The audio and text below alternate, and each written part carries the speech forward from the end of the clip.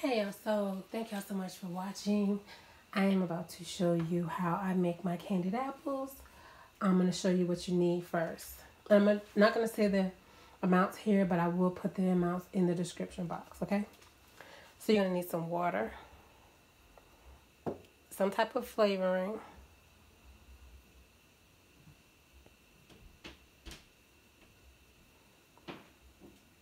some Karo syrup or light corn syrup, doesn't matter what brand, some white food coloring, any color you choose.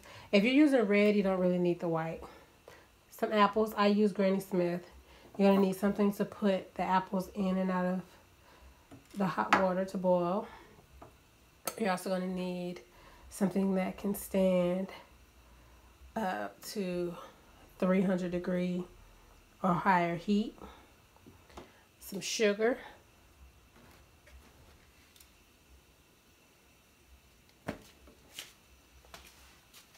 And you're going to need some type of sticks, whether it be these or these. These, you want to make them a little bit thicker. Not make them, but you want to get the ones that are a little bit thicker if you're going to use the ones like this. And if you're going to use this, you still need to use um, these right here. And you're going to need a microfiber cloth to, or some type of cloth to dry your apples. And you're going to need a silicone mat. And you're going to need a pot of boiling water to clean. I'm going to show you the whole process. So let's get to it. First step, oops, excuse me, is cleaning the apples. You have to get the wax off these apples. See how shiny they are? There's a wax on those. And you're going to to do that in order to have um, candy apples that don't have bubbles. So if you don't have a silicone mat, you can just use a pan with some paper towel for this step. But later on, you can line a um, cookie sheet or something with parchment paper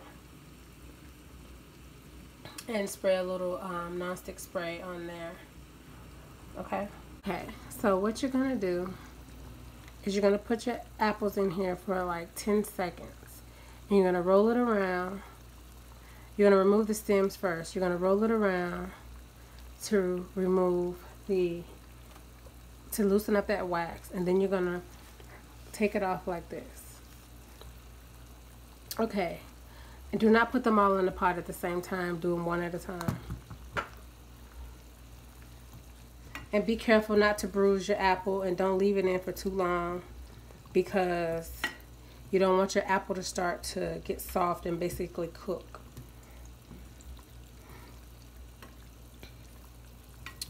Okay, so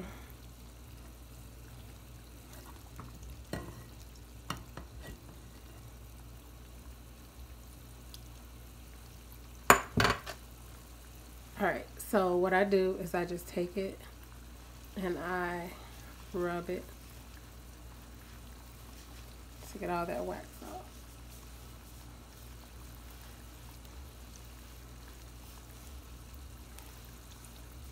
And you'll notice after you've done a couple apples, your water will start having a film of wax on top.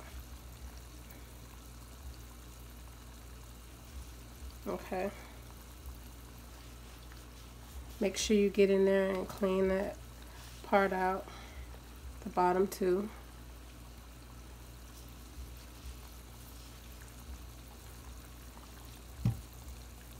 Now, I let these sit out on this paper towel and whatnot for about for 24 to 48 hours. And in that time, these apples are going to go from this to being very unattractive. So do not worry, they're not spoiled. It just means the wax is doing was doing its job. And if you can hear, there will be some sap that's going to come out and you need to clean that as well along the time between the 24 to 48 hours. But I will show you that as I do it. You can hear the Okay. So yeah, I'm gonna come back and we're gonna close it out for the night. And I'll come back tomorrow and show you what to do. Now, make sure you leave your towel near because you're gonna need it over the next two days. A minimum of 24 hours. Um, I like to go at least 48. Um, no more than 48, I would say. Now, you're going to start seeing them change color. You're also going to start seeing some sap come out of them. See that? That's normal. Don't panic. See? Okay. So I leave them here. Um, and I will tell you do not skip this step when you're doing candied apples. Do not skip this step because if you do, your apples are going to look like they have an STD. They are going to have all kind of mm, breakouts on them. Okay. So, again, tomorrow I'm going to come back and show you what they look like. And then I'm going to show you what I do so that it's clear. All right. So I will see y'all tomorrow. Okay. Look at my spoon. Look at how much wax is on this spoon. That comes off those apples. Make sure you wash your spoon, scrub it really well, and your pot as well. Alright, y'all. So, as you can see, the apples are a little more dull today.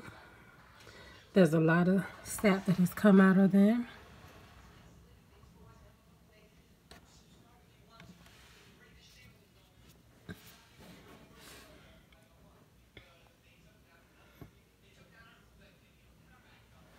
See the color on this one? And tomorrow they'll look even more weird. But they're not bad. It's just what happens. Alright, so it's the day of dipping. See, I'm going to get all that extra wax off. All that that came, the sap or whatever that came out. I'm going to wipe these down one last time. And there may be some white residue that's just from the wax being off. You can wipe that off with a damp cloth and then make sure you dry the apples afterwards. Alright, so now we're going to add the sticks. Um, I'm to use the lollipop sticks and the straws. So you put the lollipop stick in first because the straw isn't strong enough to go in there by itself, especially for when you are trying to dip the apples. So make sure you use a lollipop stick or the other candy apple sticks with and with a straw. Okay, so you're just gonna press down hard. You're not gonna go all the way through the apple then you're going to just press the straw. I twist it a little bit so it doesn't bend the straw. And that's that. So you want to be able to control the apple. So now I'm going to have my have everything pre-measured. So now I'm going to add everything in except for my coloring and the flavoring. Some people add that in the beginning. I just don't. Um, once I add everything in, I'm going to stir it to dissolve the sugar. And then I'm going to turn it on medium and let it go. After you do that initial stir, do not stir again until after you've come to temperature and you're stirring in your flavor and your coloring. It's come up to temp, it's come up to boil. You're going to put this in there.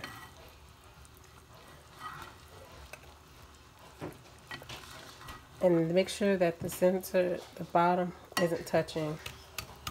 See, because this keeps this from touching the very bottom of the pot.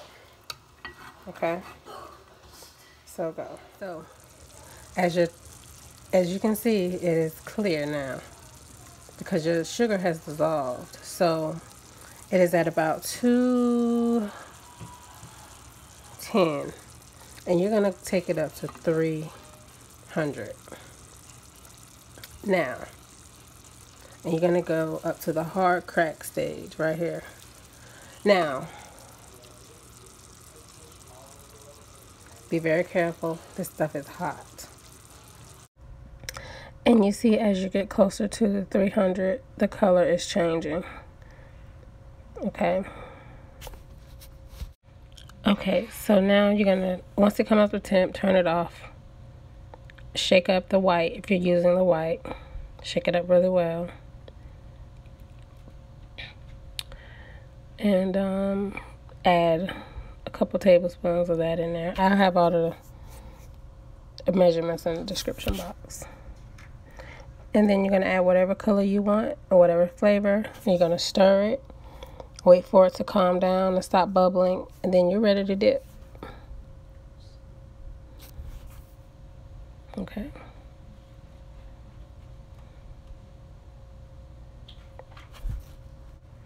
Okay, and now you're gonna ready to dip. Grab your apple, hold it where the stick is and not the top of the straw because it's going to bend if you aren't holding the stick. Make sure you know where the end of this where the stick begins so you can hold that part and have better a better grip. You're gonna tilt your pot, you're gonna place your apple in, and you're just gonna roll it around so that it covers the apple. You're gonna shake it. I just spin it a little bit.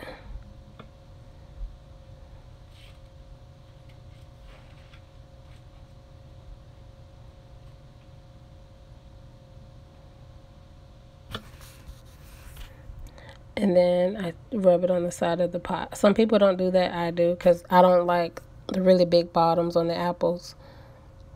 Um, it's just a preference thing. You know, some people don't care about that, but I do. And you're just going to continue. Okay, now once you've dipped all your apples, here's something you can do. You can take some strawberries, add a pick in them, move the stem out of the way.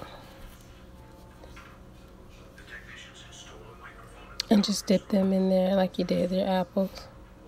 Be careful because your hand is going to be closer to the sugar or the candy. And just remember, this stuff is hot. Candy is very, sugar is hot once you heat it.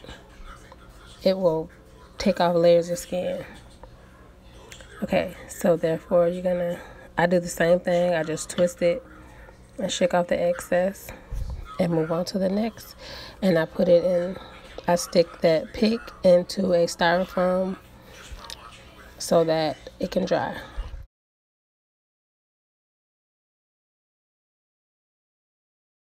Okay, with the remainder of your candy, you can take a spoon and just drag it, hold it above the uh, strawberry, and just do little swirls. Do not put this in a pastry bag. Do not go tell nobody. I told you to put that in there because no, don't do that. All right, and once you're done, you're going to pour some hot water into your pot and let this boil for a few minutes until all the candy has dissolved.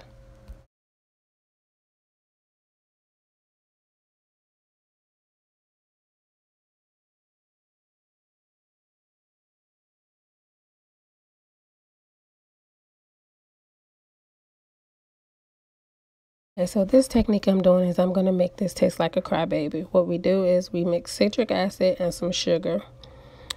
And um, then you sprinkle this all over the apple. And it tastes just like the crybabies we used to eat back in the day. Or chew because it's gum actually. But yeah, that's an option. There's other things that you can do with these apples. Um, I'll do another video someday on how to marble them and all that. But yeah, that's what it looks like.